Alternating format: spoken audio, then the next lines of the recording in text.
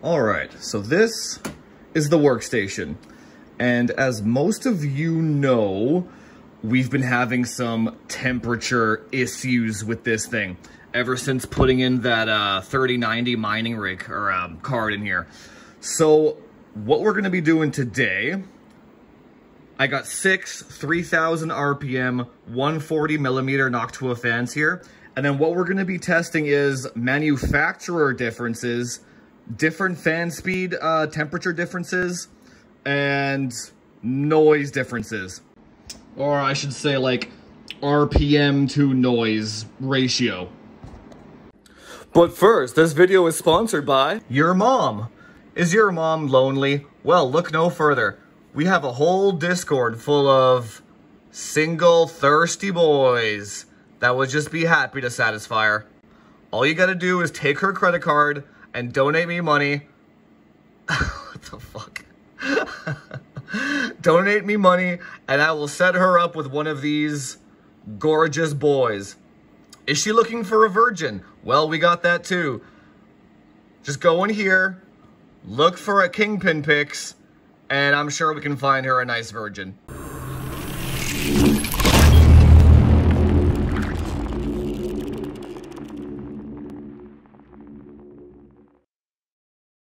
Hey guys, welcome to Frame Chasers, and today, does fan speed matter? Okay, so currently as it stands, we have a 420 millimeter up top, we have a 280 in the front, and a 140 in the bottom, hence six fans, right?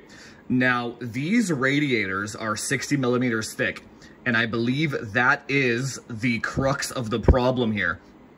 Uh, the fans that are on there right now are just 1000 RPM Silverstone fans. Just like stock ones that came with my wife's case.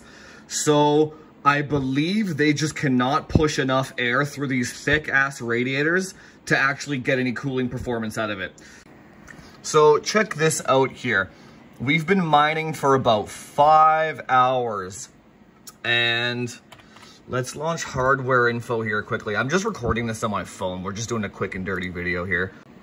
So we're just gonna take a quick before measurement here. So we got, also keep in mind we got a BPC in there too, right on top of the 3090. Where's my uh, temperature here? Here we go, okay. Memory junction, 82. So you can already tell, if you remember back in my other videos, this was 70 Celsius in my gaming rig. And then my workstation, it's 82. So we have 12 degrees of temperature. That's, that's how much hotter the water is in my workstation than it is my gaming rig, right? So let's write down 82 for junction temperature and 50.5 for the GPU temperature. Okay, I know many of you were waiting for the parallel versus serial MP5 Works comparison video. I decided not to do that until I got this radiator fan situation sorted out because what's the point of trying different methods of cooling if the temperature of the water itself is so hot that this can't actually cool it down to the same degree as the other computer, right? So that's why that video kind of got delayed a little bit, but that will be next once we figure this out, don't worry. Mmm, these fans look nice, man.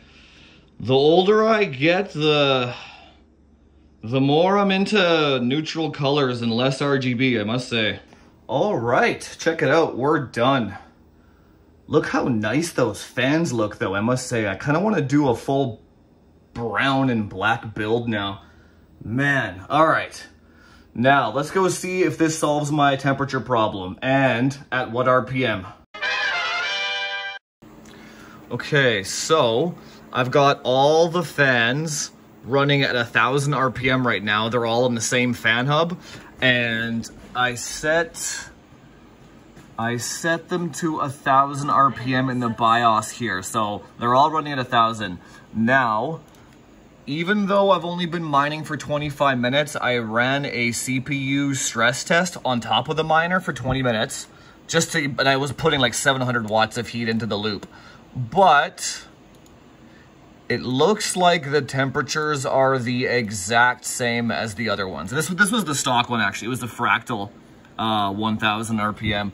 So the Noctuas at 1,000 RPM and the Fractals at 1,000 RPM yielded the exact same numbers, it looks like. Come to think of it, actually, these fans look almost the same as the Noctuas too, so it actually makes sense that they would perform the same. All right, so 1500 RPM, uh, 25 minutes later, and we got a four degree drop across the board.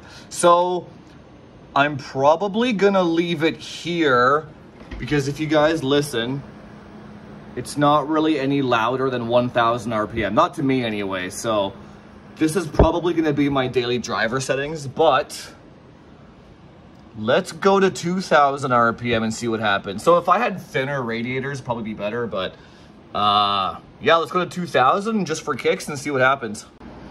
All right, so 2000 RPM here. Uh, 22 minutes of mining and a two degree drop. That's it. So, for a shit ton more noise too. You can probably hear that.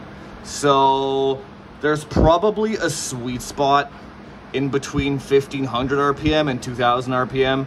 So you would be fine with 1500 RPM fans with a 60 millimeter radiator thickness. That would, like 1500, 1500 RPM is enough to saturate a 60 mil radiator. So anyway, just for kicks, let's crank this bitch to 3000.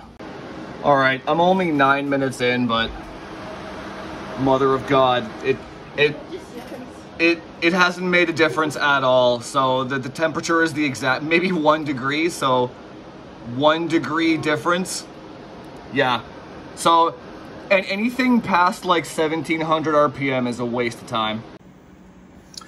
All right. So long story short, from 1000 to 1500 RPM, big difference. Anything beyond 1500 is a waste of time. So what I'm gonna end up doing here Actually, I'm gonna take my 3090 and put it back in my gaming rig here. Um, the temperatures are just much better for BPC testing. So I'm gonna put the 3090 back in here. Then I'm gonna do the uh, parallel versus serial BPC testing because this this computer here will be able to tell the temperature differences much better. But in the meantime, that's pretty much it. But now that I actually have my temperatures under control, stay tuned for some 10980XE content. Anyway, guys, if you like the content, hit that subscribe button, do all that YouTube SEO stuff. Like, share, subscribe, comment down below if you found value in this.